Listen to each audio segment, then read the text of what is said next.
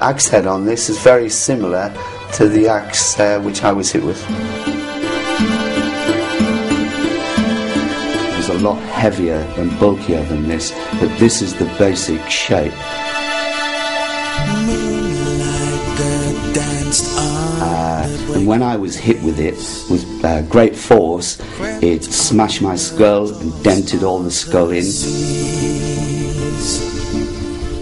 And it was about two years later when I saw a psychiatrist, and uh, I went to him and uh, we had a two-hour interview.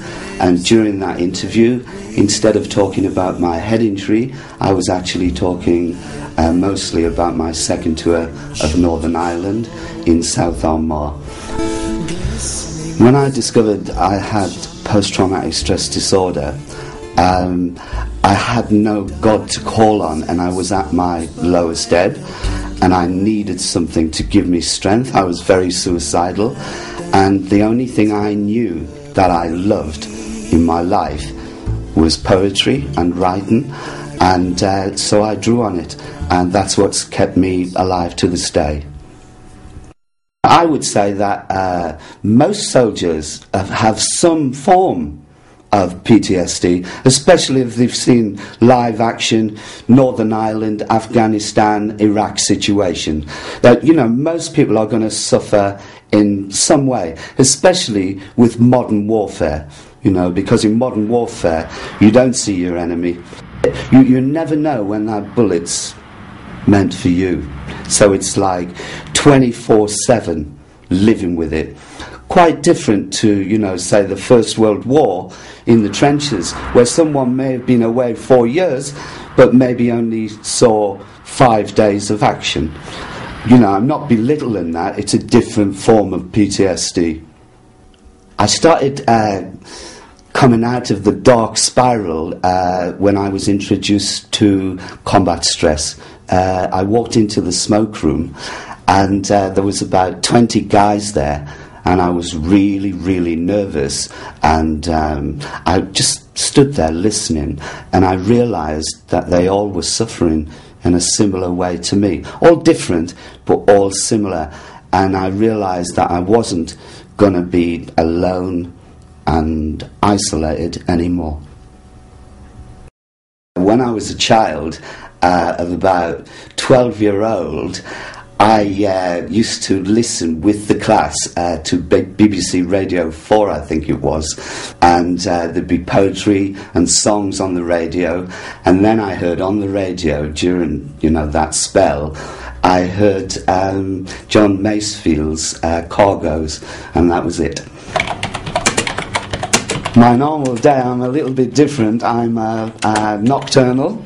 Uh, that's been going on for about the last 15, 16 years. I normally get up between about two and three, and about once every seven to ten days, I get the inspiration for a poem. So, and I've learned over the years, when I wake up, it's there, it's there in my subconscious, and I jump up and I write the poem there and then. Normally takes me about no more than an hour for each poem. I scribble it down and it's done and I very, very hmm. rarely change a single word. His mind. Over the years I've had to accept uh, that you know, I'll never work again. Something that was one of the biggest decisions I was to make in my life. But now I live my life by total avoidance of stress which is absolutely impossible in this day and age.